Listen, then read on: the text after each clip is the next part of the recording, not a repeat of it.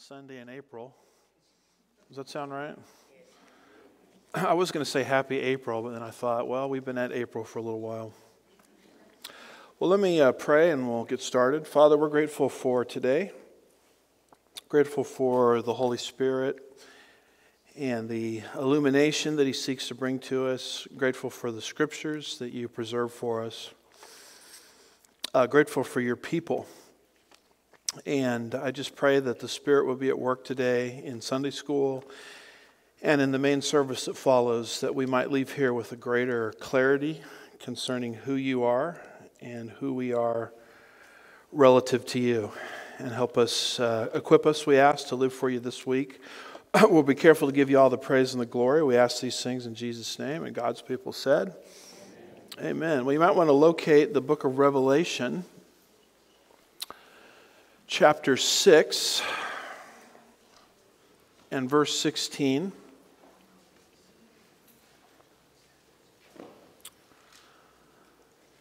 Uh, there's a couple people here that are new, so I just want to apologize in advance to you. Because we are in part 45 of a rapture study. So but hopefully each lesson is self, what, the, what do they call it today? Self contained. So even if you're just coming to us the first time and you don't haven't had access to the first 44, hopefully you'll have uh, you'll get a lot out of lesson 45. And how many churches can say that, by the way? Not very many. Probably none except us, right? But we're um, in a series where we're trying to defend the pre tribulational rapture. Um, as we've said before, I don't have a single problem that the rapture wouldn't fix. Can I get an amen on that?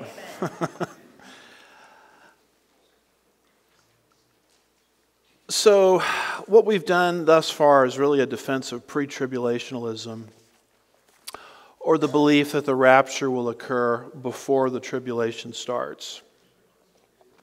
That view, for whatever reason, is really under assault today.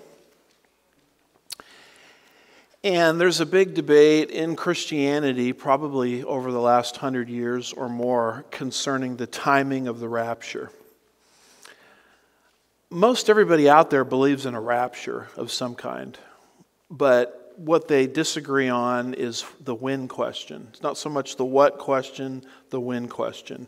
So we are in the process of critiquing the other views underneath pre tribulationalism, mid and post, and pre wrath and partial, which contradict everything we've taught thus far.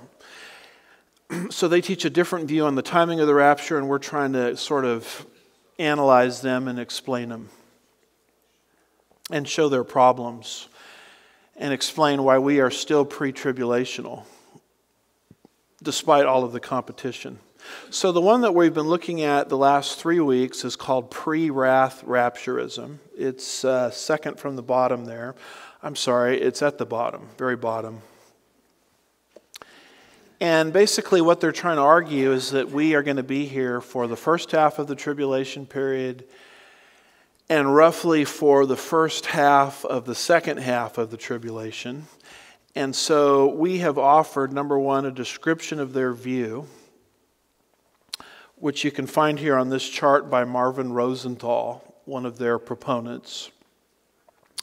And he basically, in this particular book that I got this chart from, The Pre Wrath Rapture of the Church, he basically teaches that the first half of the tribulation period is not God's wrath, it's the beginning of sorrows. And then the first part of the second half of the tribulation period is not God's wrath, it's a period that he calls the Great Tribulation. And the actual wrath of God does not start until what he calls the day of the Lord, which is roughly the final 25% of the tribulation. And so, since the church, he reasons, is promised an exemption from divine wrath, we actually will be here for the first half of the tribulation period and for the first half of the second half of the tribulation period. And we don't have the hope of being raptured until that point in time, which he has there on his chart with the arrow.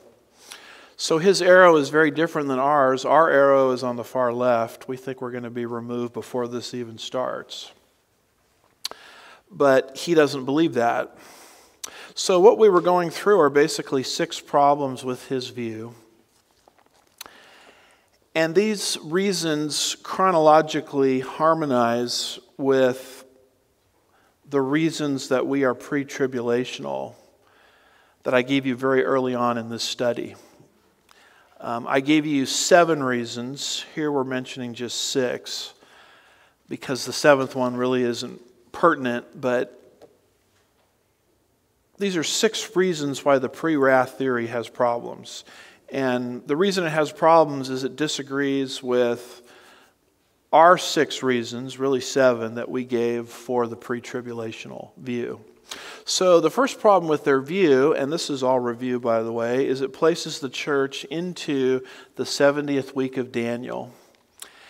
And the 70th week of Daniel, as we have studied, concerns Israel and not the church. The second problem with their view is it fails to acknowledge the concept of the missing church. And they basically argue that we're, we're here for Revelation 6. The problem is when you look at the you, when you look at that chapter, you never see the word church. And you never see the body of Christ, you never see the bride of Christ, and we say the church isn't there, and they say, yes, it is there. And we say the church isn't there, and they say, yes, it is there. And they haven't been able to produce any evidence that the church is there. It doesn't say church anywhere. Uh, nor does it mention any of the Pauline concepts of the church. So that's review. And where their view is really vulnerable is they confine the wrath of God to only a portion of the second half of the tribulation. So we believe the correct view is the whole thing is God's wrath. Jesus is in heaven, Revelation 5, leading to Revelation 6, opening a seven sealed scroll, which brings all of these judgments to the earth. The seal judgments, the trumpet judgments, and the bowl judgments, Jesus is unleashing all of them. And so they all constitute God's wrath as far as we are concerned. Pre wrath rapturism, as it's taught, doesn't accept that. They, they believe that the wrath of God doesn't start until the final quarter, roughly. And so all of these uh, seal judgments really are not the wrath of God. And in fact, the wrath of God doesn't even show up until you get to Revelation 6, verses 16 and 17, according to their view. And they largely argue that because this is the first time the word wrath is used. So, this is the sixth seal judgment, and this is a reference to the unbelievers trying to make sense of what's happening to them. And they make this statement. It says in Revelation 6, verses 16 and 17, they said to the mountains and to the rocks, Fall on us and hide us from the sight of him who sits on the throne and from the wrath, that's the Greek word orge, of the Lamb. For the great day of their wrath, there it's repeated, has come, and who is able to stand? And so their perspective is basically this idea that this is the first time the wrath of God shows up in the book. And even here, it hasn't completely arrived it's not going to arrive until really the trumpet judgments. And here's what they're arguing they're arguing that here the wrath of God is sort of imminent. It's uh, what they say portending or portrending. And it's foreshadowing something that is going to happen in the future, in essence. And the last couple of weeks I've been with you, I've tried to show you that that is not what the Greek text says. It's not a statement looking forward, it's a statement looking backward. So, one of the things I haven't pointed out yet is it says there in verse 17, For the great day of their wrath has come. So instead of focusing on the word wrath, just for a minute, I would like for you to focus on the word come, which is the Greek word erchomai. And if you look at that word come, you'll see that whatever is happening in this sixth seal judgment is something that is connected to the prior seal judgments because of the word come. So, whatever you're doing with seal judgment number six, by consistency, you have to also see in the prior seal judgments. Uh, the Holy Spirit, I believe, has been very clear in making this point. And I want to show you this because pre wrathers basically are saying, well, the word wrath doesn't show up in the prior judgments. The word wrath shows up here. So this is the first time the wrath is portrending or portending. And I want to show you just very fast that they're focusing on the wrong word. If you, if you leave the subject or the word wrath aside for a moment, and I explained wrath last time to you, why the wrath of God is in those prior seal judgments. Leave that aside for a minute and just focus on the word come. You'll see how all of these seal judgments are interrelated. So, whatever you're doing with number six, you have to, by definition and by extension, do with numbers one through five. All of these are the wrath of God. And you see that because of the word come. So, notice, uh, if you will, Revelation chapter 6, verse 1. this is the very beginning of the seal judgments.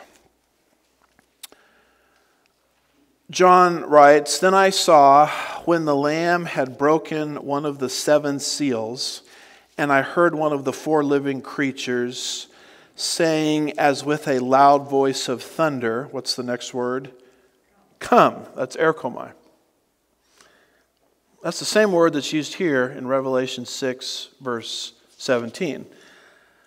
Uh, drop down, if you could, to Revelation chapter 6, verse 3. This is the third seal judgment.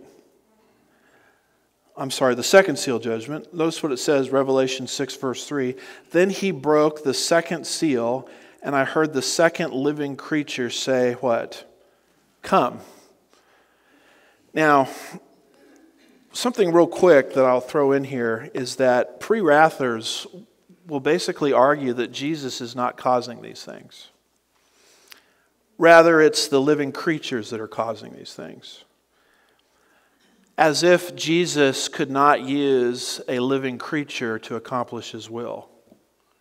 Just because Jesus is using a secondary object, like an angel, for example, to bring forth his wrath, doesn't mean that Jesus is somehow not causing the wrath.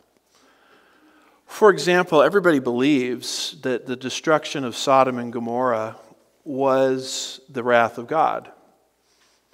And what you'll discover is God, when He destroyed Sodom and Gomorrah, did not destroy Sodom and Gomorrah directly. He used a destroying angel to come do it. Remember what the angel said to Lot? Uh, the, the angel came to Lot in Genesis 19, verse 22, and said, I cannot do anything until you're removed from here.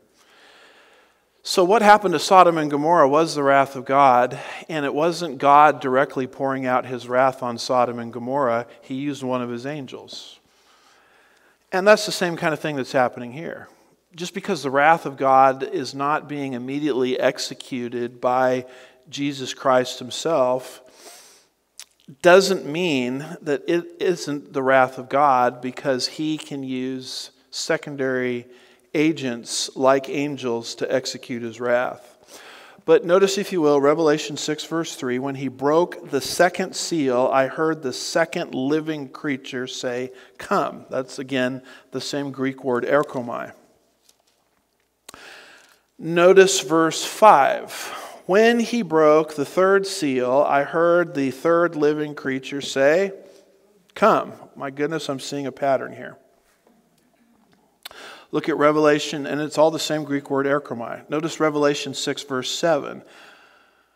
When the Lamb broke the fourth seal, I heard the voice of the fourth living creature say, What? Say, Come. And then you finally get to Revelation chapter 6, verse 17, and it says, For the great day of their wrath has come, and who is able to stand? So the word come or the word erchomai connects all of the seal judgments together. Does that make sense? So you can't say suddenly the wrath of God is imminent for the first time in Revelation 6, verses 16 and 17, but it's not a subject early on in the, in the chapter the word come or erchomai connects all of these seal judgments together. So whatever you're doing with seal judgment number six automatically applies to the others.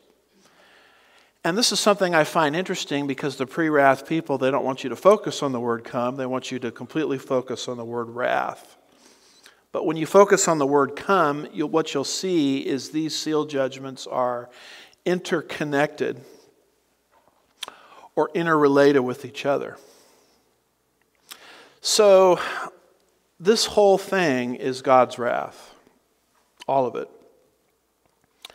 And that's why we believe that the entire seven year period is God's wrath.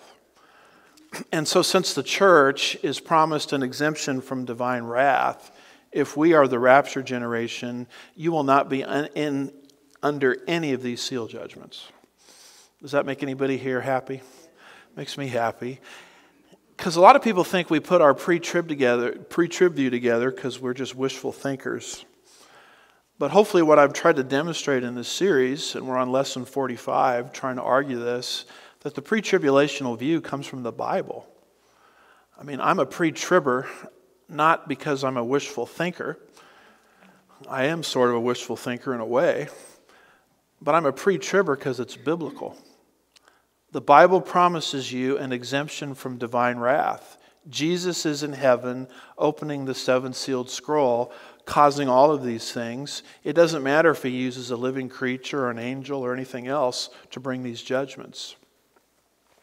So, a major problem with this pre uh, wrath rapture view, as taught by Marvin Rosenthal and others, is it confines God's wrath to only a portion of the tribulation second half. And as my professor, Dr. Toussaint, used to say, that dog won't hunt. All right, continuing on with this list here, the fourth major problem with pre wrath rapturism, and this is a problem with all the other views, mid trib, post trib, is they deny what is called imminency. If you talk to pre wrath rapturists, I talked to one recently back in December, and I asked him, Could Jesus Christ come back today? He said, Absolutely not. And by the way, if I should ever drop dead of a heart attack or get hit by a car or something, and you're looking for a new pastor, and you want to know does this new pastor believe in the pre trib rapture? There's a simple question you could ask him. And I hope you'll hire a him, by the way. Him to determine if he is pre trib. And you just ask, can Jesus Christ come back today? And if they start to hem and haw and say, well, Jesus can come back soon, just say, that's not what I asked you. I asked you, could he come back in the next split second? And how he answers that question will tell you whether he's pre tribulational or not. Because we are the only view that teaches that Jesus Christ can come back in the next split second. All the other views have some kind of prophetic scenario that has to take place first. And this gets into the whole subject of imminency. What is imminency? If you're fuzzy on imminency, I would encourage you to go back and review lesson number three, where we spoke of the imminency of the rapture. But imminency basically is the idea that the rapture is signless. There are no prophetic signs that have to transpire first before the rapture can occur. Well, wait a minute. What about the mark of the beast? And what about Bill Gates? And what about the World Economic Forum? And what about vaccinate, mandatory vaccinations, and what about all this stuff? Well, those are all signs for the tribulation. Those are signs that are preparing the world for the tribulation period, but there are no signs for the rapture. The rapture will precede all of those things. So, if the world stage is being set up this aggressively for the seven year tribulation period, I'm of the perspective that it is, then all of these signs related to mark of the beast, technology, microchips, all these things that people like to talk about, those have nothing to do with the rapture. Those are signs for the seven year tribulation period. The rapture is signless. And it's sort of interesting if the world is being set up this aggressively for the seven year tribulation period and the rapture of the church comes first, then we must be pretty close to the rapture, is the way I think on this. So this gets into a doctrine called imminency. When we were talking about imminency in lesson number three, and of course, you guys have perfect recollection of that lesson, right? I didn't remember the lesson. I had to go find where it was. We talked about it. But we gave you this quote from Wayne Brindle, who wrote this in Dallas Seminary's academic journal, Bibliotheca Sacra. And he gives four criteria for determining if any given passage in the New Testament is a passage related to the imminency, the any moment appearance of Jesus, the signless event that Jesus is not just coming back soon, but Jesus is coming back next. We don't just believe that Jesus is coming back soon. That doesn't cut it. We believe he's coming back next. It is the next event on the prophetic calendar, which is completely and totally signless. So, when you're reading the New Testament, how can you determine if any given passage is related to that doctrine or not? Wayne Brindle, formerly of Liberty University, says in this article four criteria may be suggested, any one of which indicates imminency. Number one, the passage speaks of Christ's return at any moment. Number two, the passage speaks of Christ's return as near without stating any signs that must precede his coming. Number three, the passage speaks of Christ's return as something that gives believers hope and encouragement without indicating that these believers will suffer tribulation. Number four, the passage speaks of Christ's return as giving hope without relating it to God's judgment of unbelievers. So, when you're going through the New Testament and you run into a passage that meets one or more of these criteria, you're dealing with an imminency passage. And you're dealing with, therefore, a rapture, imminency, signless event passage, reminding us that Jesus Christ can come back in the next split second. That's what's meant by imminency. So let me give you a few of such passages um, that clearly, in my mind, speak of imminency. Notice John 14, verse 3. This is the first time the doctrine of the rapture is revealed by Jesus in the upper room. And you know this passage well. Says, Do not let your heart be troubled. Believe in God. Believe also in me. In my Father's house are many dwelling places. If it were not so, I would have told you. For I go to prepare a place for you. And if I go and prepare a place for you, I will come again and receive you to myself after you've suffered under the wrath of the Antichrist for three and a half years. Whoops, doesn't say that, does it? It says, If I go and prepare a place for you, I will come again and receive you to myself, that where I am, you may be also, and you know the way where I am going. So you notice here that Jesus, when he's describing the rapture, never puts any prophetic sign before it. He never says, Don't take the vaccine, watch out for Bill Gates be careful about microchip technology. And I think we should be aware of those things, but those are signs for the tribulation, not the rapture. There is no prophetic sign that has to transpire according to Christ's own words before the rapture can take place. Pre wrath rapturism denies that. They insert three quarters of the tribulation period in between us and the coming of Jesus to receive us to himself, even though the passage says no such thing. Uh, that's a passage that we would call a passage related to imminency. Um, I don't have this on the screen, but slip over to 1 Thessalonians chapter 1, verse 10. Just find the T's.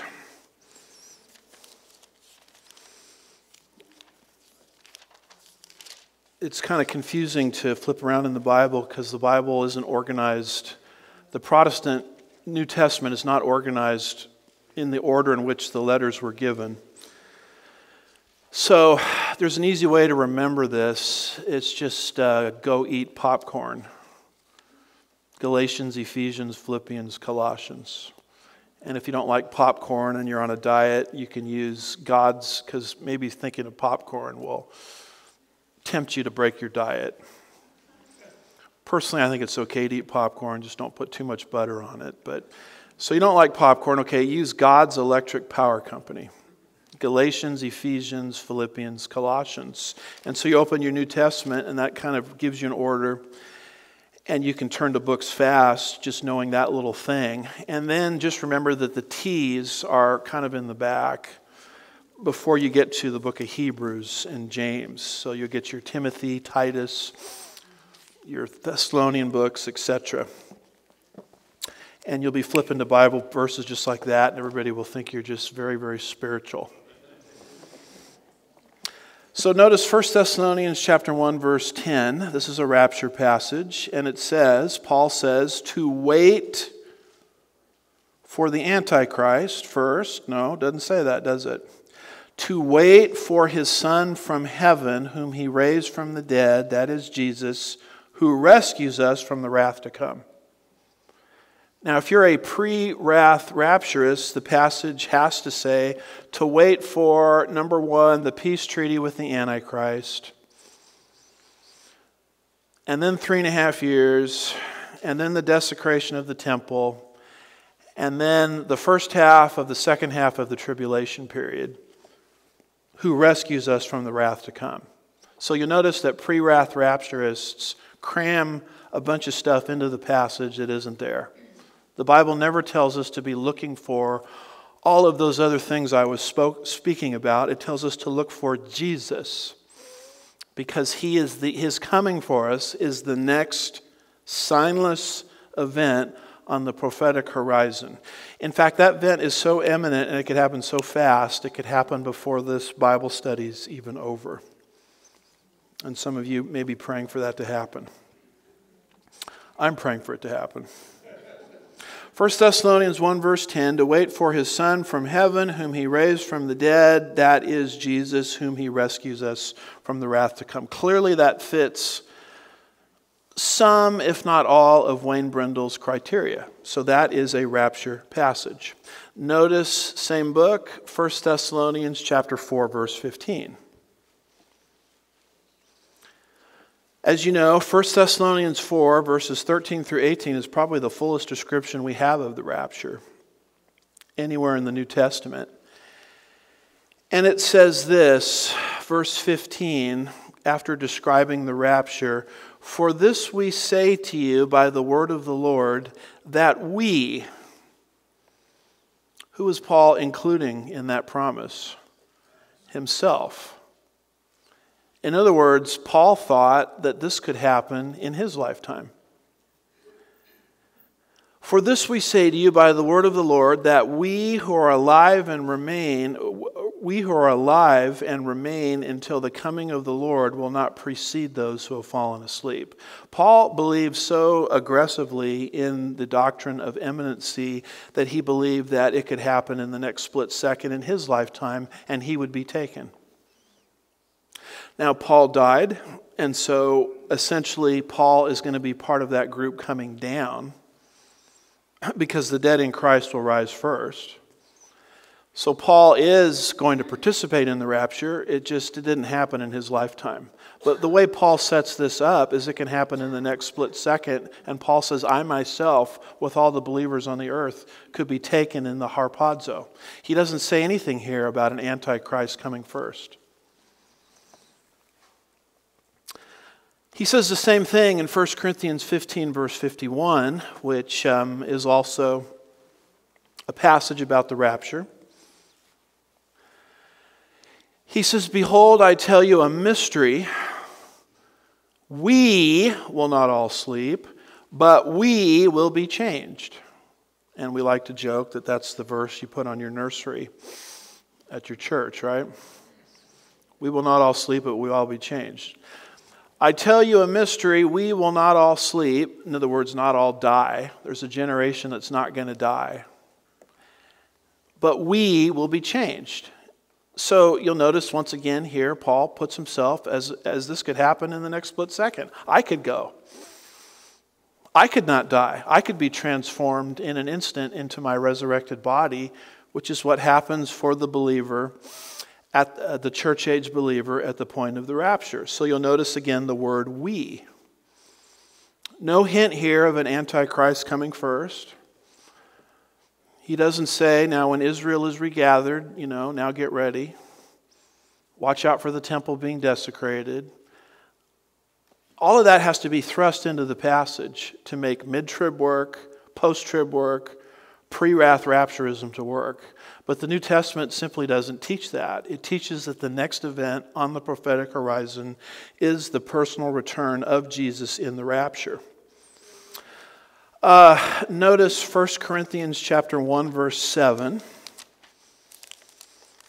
Now, the go eat popcorn is not going to help you here. So, what you have to remember is when you get to the New Testament, there's these things called the Gospels, which are records of the life of Christ Matthew, Mark, Luke, John. Then you get to Acts, a big book. Then you get to the big books Paul wrote which are what? Romans, 1 Corinthians, 2 Corinthians. Then you get beyond 2 Corinthians, and that's where you can go eat your popcorn and get to the T's. See, I, and I'm telling you all this stuff because I wish someone had explained this to me when I was a new Christian. I was like, you know, the pastor would say, turn to such and such, and I would be the guy still leafing through everything trying to find it. And I didn't appear as spiritual to my peers as I wanted. All right. 1 Corinthians chapter 1 verse 7 says so that so that you are lack not lacking in any gift. He's saying that to the Corinthians. You're not lacking in anything. And what does he say here in verse 7? Awaiting eagerly the revelation of what's the next words? Our Lord Jesus Christ. He doesn't say awaiting eagerly the revelation of the Antichrist saying oh, you're awaiting the revelation of Jesus Christ. That's what we're waiting for. That's where our focus is. And when the focus becomes so into, oh no, the decline of America, oh no, the New World Order, all, all of which are very valid and important subjects, your focus changes. The focus of the New Testament for the church age believer is to be looking for Jesus at any moment. Notice the book of Philippians, chapter 3, verse 20. So there's your popcorn. Go eat popcorn. Philippians chapter 3, verse 20.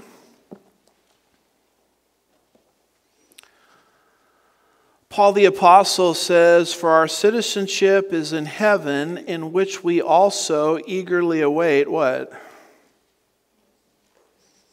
For a Savior, the Lord Jesus Christ. Not the foggiest hint here of wait for the temple's desecration, the peace treaty between Israel and the Antichrist. He, does, he never hints at the fact that the Antichrist is coming first, which is what all these other views are saying why, why is Paul not dealing with those subjects? Because he's not dealing with end times prophecy here in the sense of the seven year tribulation. What he's dealing with is where our focus should be, which is Jesus, and he's dealing with imminency, which demonstrates that Christ can turn or return in the next split second. And then getting into the T's, notice Titus 2, verse 13. It's a description here of what we as Christians are looking for in the age of the church. Looking for what? The blessed hope. See, these other rapture positions, that's not what they're looking for. That's why there's so much focus on the deterioration of our world, because they believe that these signs precede the imminent return of Jesus. And I'm trying to explain that that's not the focus of the epistles or the Greek New Testament. Looking for the blessed hope and the appearing of the glory of Antichrist. No. Looking for the blessed hope and the appearing of the glory of our God and Savior, Christ Jesus. Uh, and then you kind of keep moving right and you run into Hebrews, and after that, James, which we're studying on Wednesdays, by the way. So we invite you to participate either in house or online. But notice James chapter 5, verse 8, a tremendous statement here on imminency. You too be patient, strengthen your hearts, for the coming of the Lord is what? It's near. Now, in Greek, it's at hand. Um, the best illustration I can think of it is I don't know, remember those plastic uh, balls that we can play with as kids, and it had Velcro around it, and you could throw it up at the ceiling and it would stick on the ceiling? Oh, come on, you guys know what I'm talking about, right? and it's stuck up on the ceiling and it could, it, could, it could come off the ceiling at any minute, right? But you don't know exactly when. That's the rapture. Whatever works, right? So Jesus is that Velcro ball. He went up, ascension. He's been engaged in his um, high priestly ministry at the Father's right hand for 2,000 years. And any minute, wow, he could come back. So that's the doctrine of, of imminency. So we are looking for Jesus Christ. We are not looking for the Antichrist. Now, should we teach on the doctrine of the Antichrist? Sure, it's in the Bible. Should we teach on the doctrine of the tribulation period? Of course, it's all in the Bible. But that's not, those are never to be the focus of the church age Christian. We're looking for Jesus Christ. Now, look at this book here. Look at the title of it. This guy's not a pre wrath rapturist, he's a post tribber. Look at the title of his book. It's called First the Antichrist. And you look at something like this and you wonder how somebody so smart could have missed something so basic. The Bible never says first the Antichrist. There's not a single passage that says first the Antichrist. We're assured the Antichrist is coming, but what it actually says is Jesus, Jesus Christ, could come back at any moment. And of all of the doctrines in the Bible that Satan is trying to destroy, this would be one of them. Because if you believe this, as I'm trying to explain it, it completely changes the way you make choices in life. If this could be the day when Jesus comes back and the Holy Spirit has set this up for the Christian to think that any day could be the day, and if you really believe that, then it changes almost everything in your life. It changes the conversations that you have.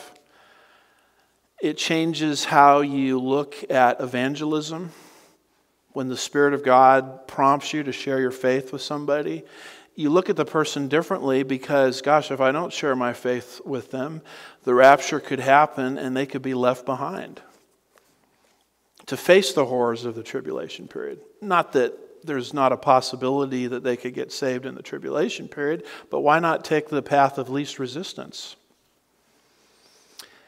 It changes decisions that we make, and this is why daily life, you'll notice in these passages I just read, I just read James 5 8. You to be patient.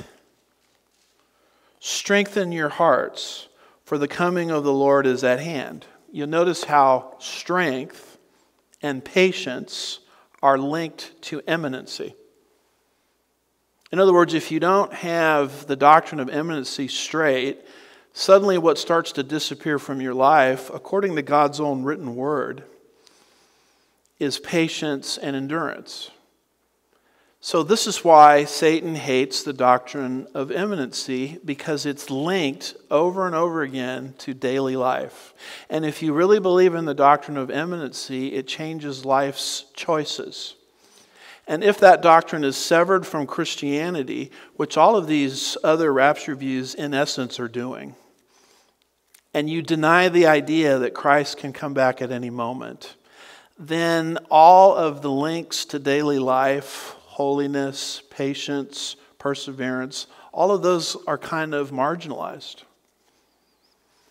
So, my professor, J. Dwight Pentecost, said this in class, and I found it also in one of his books. He says, A short time ago, I took occasion to go through the New Testament and to mark each reference to the coming of the Lord Jesus Christ and to observe the use made of that teaching about his coming. I was struck anew with the fact that almost without exception, when the coming of Christ is mentioned in the New Testament, it is followed by an exhortation to godliness and holy living. So, being the arrogant seminary student that I was, when he made that statement, I really didn't believe it was true. So I started to do my own search.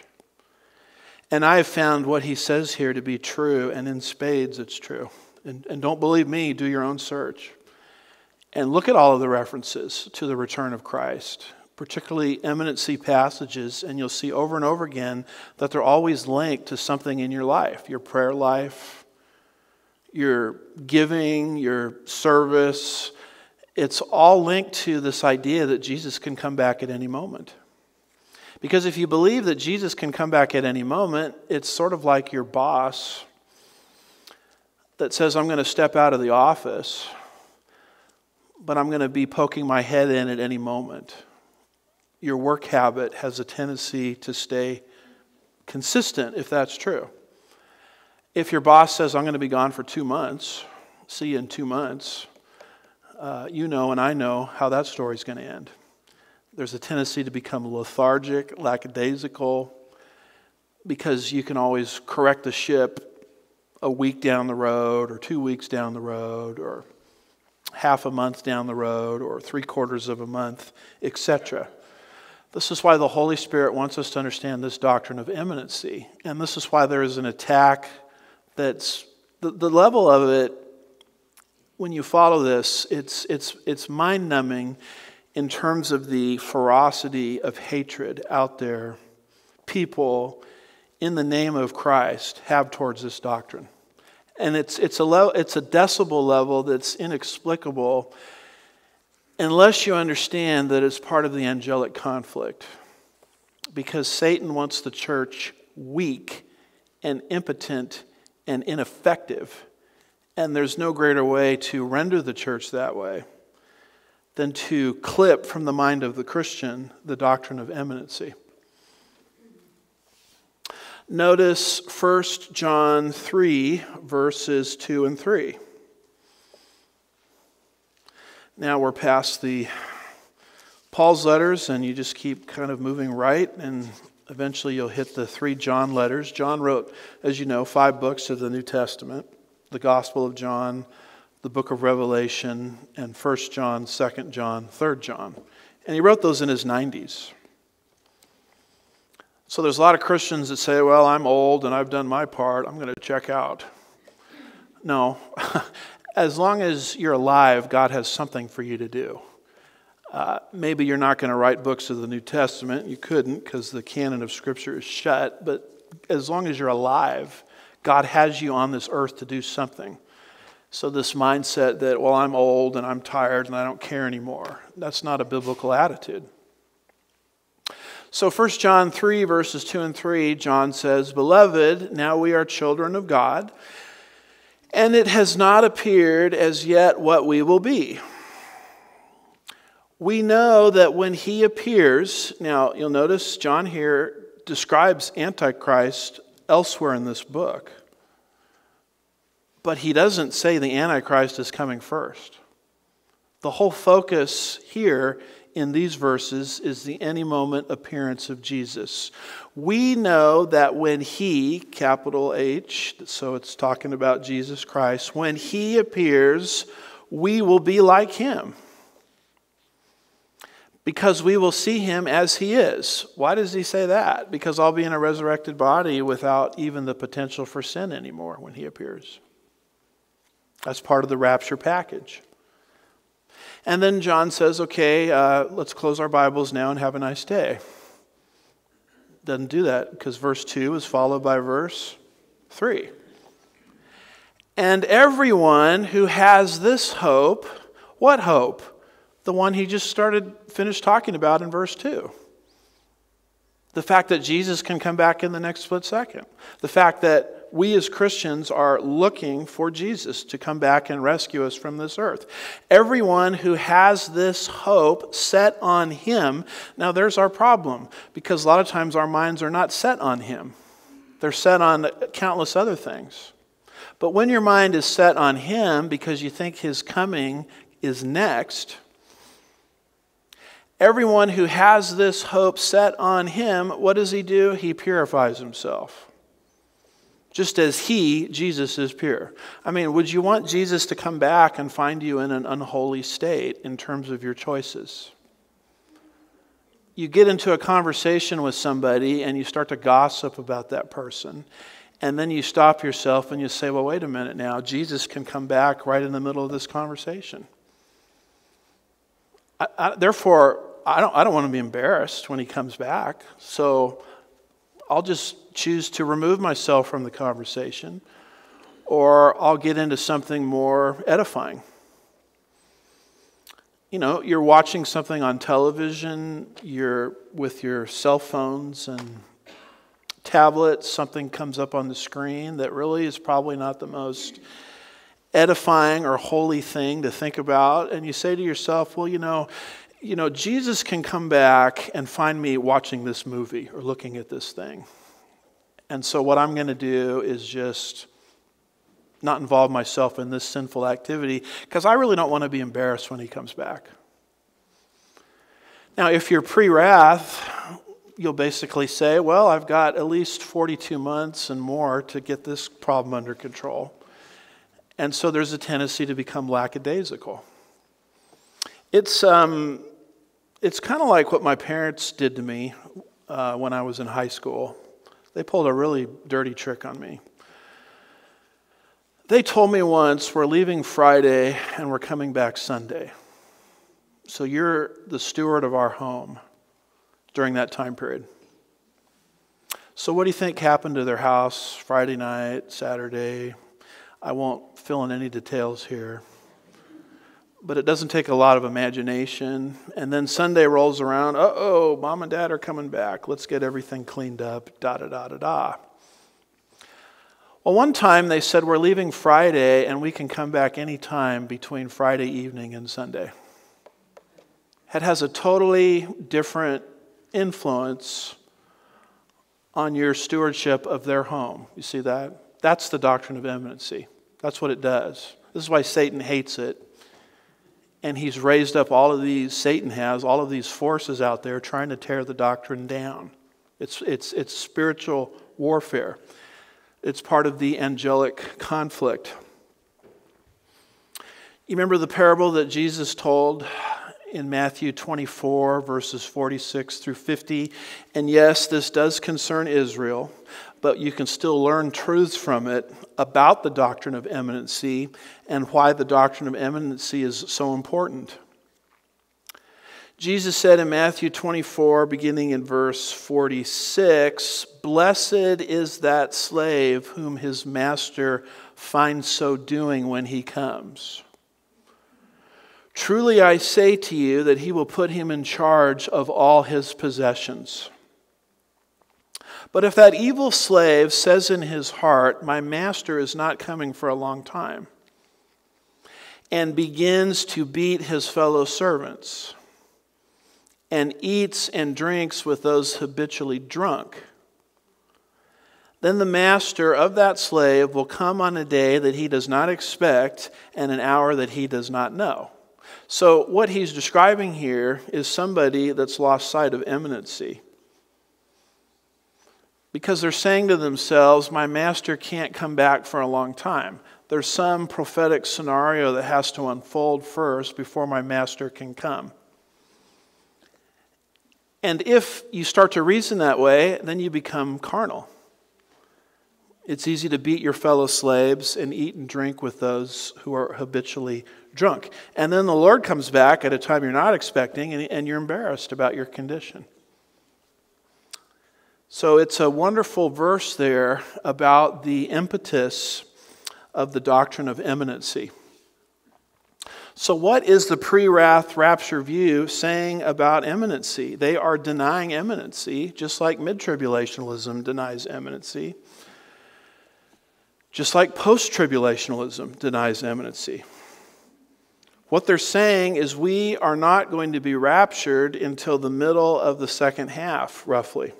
So that means before Jesus can come back, there's got to be a peace treaty between the Antichrist and unbelieving Israel. There's got to be the whole first half. There's got to be the desecration of the temple. There's got to be half of the second half. In fact, all of these seal judgments has to happen first. And then finally Jesus can come back and rescue us. What is being denied here? Very simply, all of these passages we've been looking at concerning imminency. Uh, Tony Kessinger, in his critique of pre wrath rapturism, says The doctrine of imminency holds that Christ can come to rapture his church at any moment believers in the church, including the Apostle Paul, believed that Christ could come in their lifetime. In fact, sometimes in the Bible, you'll run into the expression Maranatha. That's what that expression Maranatha means. It means the Lord can come at any moment.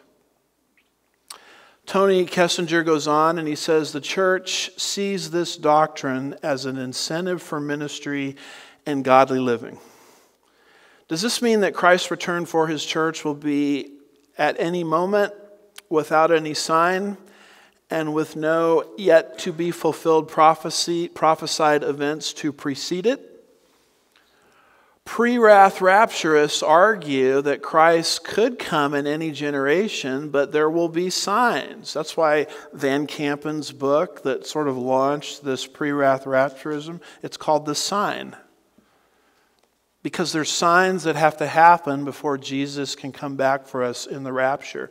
Pre wrath rapturists argue that Christ could come at any generation, but there have to be signs that will herald the general time of his coming. Those include the emergence of the Antichrist, wars and rumors of wars, famine, pestilence, and cosmic disturbances. Pre wrath rapturists emphasize Christ's, uh, emphasize Christians' expectancy of Christ's return rather than its imminence.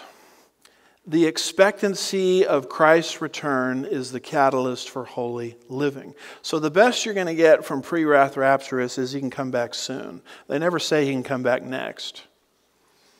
And I'm of the persuasion that if you lose sight of the idea that he can come back next, all of these uh, emphasis or impetuses for holy living disappear. I want you to understand something that you're as holy as you could possibly be positionally. But in the walk of sanctification, we allow our practice to catch up with our position. The more our daily practice catches up with our position, the more we're becoming progressively sanctified. Whether you make great progress in the area of progressive sanctification or not does not determine your salvation. You are already positionally holy if you placed your faith in Christ alone. But God wants to not just give you salvation and heaven, He wants to give you authority and rewards when He comes back. And he's not going to be giving crowns to people that are carnal Christians. He wants to reward people that are faithful. He wants to reward people that are doing the right thing when nobody is looking. And if you steal away imminence, which is what all of these other views, including pre wrath rapturism, essentially do, then you have just taken away from the church one of the greatest tools that the Holy Spirit has given for progressive sanctification the any moment return of Jesus Christ. Robert Lightner, my professor, critiques pre wrath rapturism as follows The pre wrath rapture view is different from the normal pre tribulational view in that it does not consistently distinguish between God's program with Israel and his program with the church. The way it differs is that it has the church in Israel's 70th week, we've covered that, and does not hold to the doctrine of imminency. Gerald Stanton, in his very wonderful book called kept from the hour critiques Marvin Rosenthal's view as follows. Rosenthal's last chapter incorporates a final summary of his various positions and also a final attack against pre tribulationalism and some of its leaders. The chapter sets forth the pre wrath rapture view as a catalyst for holy living without recognizing that much of that catalyst is lost if 42 months of sorrows and another 21 months of battle and martyrdom from the beast must come first. So you see, pre wrathers will say, well, we believe in holy living too. But at the same time, what they give you with their right hand they're taking away with their left hand the very doctrine that does more than any single doctrine that I can think of as a catalyst for holy living. So, the major problem with pre wrath rapturism, as we're wrapping up here, uh, point D, is that it denies imminency. In fact, if you really get into what they're saying, they're not really preparing people to meet Jesus. They're preparing people to meet the Antichrist. I'm not here preparing people to meet the Antichrist. I'm preparing people to meet Jesus Christ. And if you go through your life one week thinking you're going to meet Jesus Christ, and the next week thinking you're going to meet the Antichrist, you will be an emotional basket case. That's why they're always focused on the news, and I'm, I'm in favor of looking at the news too, but I do it through a pre trib grid. Always focused on the economy, always focused on interest rates, always focused on the political situation, always focused on inflation, and you go onto their websites and YouTube channels, and that's all they can talk about. There's, there's just not a lot of talk about, hey, Jesus is coming back next.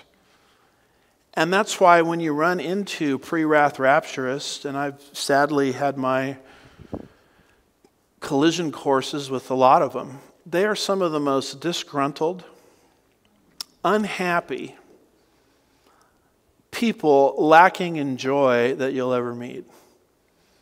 It's like people that drink engine oil for breakfast. They're so angry at everything. And I'm thinking to myself, you know, if I was an unsaved person and I saw all of this angst, I don't even know why I'd want to become a Christian, quite frankly. I was attracted to Christianity as a young person because I saw people walking in the joy of the Lord. Which at that time in my life, I didn't know what that was or how to even get that. But that's what initially drew me. What, how would I have felt as a young person being around people that are so tense all the time? Um, and so, believe it or not, folks, ideas, you know, do have consequences. And of all of the views out here, we're the only view that Jesus that teaches that Jesus Christ can come back next. The rest of them, including pre-wrath rapturism, do not teach that. And so we'll pick this up uh, next time. Let's pray. Father, we're grateful for your word. Grateful for your truth. Help us to rightfully divide your truth in these last days so we don't walk in confusion. We'll be careful to give you all the praise and the glory. We ask these things in Jesus' name. And God's people said, Amen. Happy intermission.